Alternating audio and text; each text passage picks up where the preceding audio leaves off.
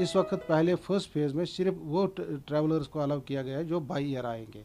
जिनकी प्रभु की टिकट होगी, जिनकी ऑनलाइन टिकट होगी, जिनका होटल ऑनलाइन बुक होगा प्रबुकड बुक होगा, और जिनकी वापसी टिकट भी ऑनलाइन बुकड होगी, क्योंकि ये फिक्स रहेगा कैसा होटल और दूसरा इसमें यह भी है कि स्टैंडर्ड ऑपरेशन प्रोसीजर में अगर उसने negative certificate covid negative certificate forty eight hours से पहले लाए तो उसको होटल में रहने दिया जाएगा और he can go but still then उसको एक टेस्ट और लेना पड़ेगा। एयरपोर्ट पर जो हमारा मैंडेटरी टेस्ट होगा। और जिसने कहीं पिछले से टेस्ट नहीं करके आया उसको टेस्ट लेना ही है लेकिन उसको उसी हाउस बोट या, या उसी होटल में या उसी गेस्ट हाउस में जिसके साथ उसकी प्रूफ बुकिंग है अड़तालीस घंटे चौबीस घंटे रहना ही रहना जब तक उसका टेस्ट पॉजिटिव या नेगेटिव ना आए।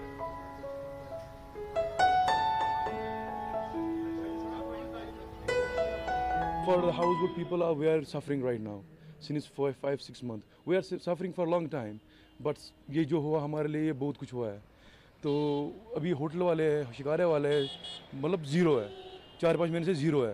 तो इन अगर अब मतलब गवर्नमेंट कुछ स्टेप उठाया कि हम will bring the tourism here back and so tourist should become safely here they will be get check it they will be get nicely check it they will get nice taste it and they'll welcome them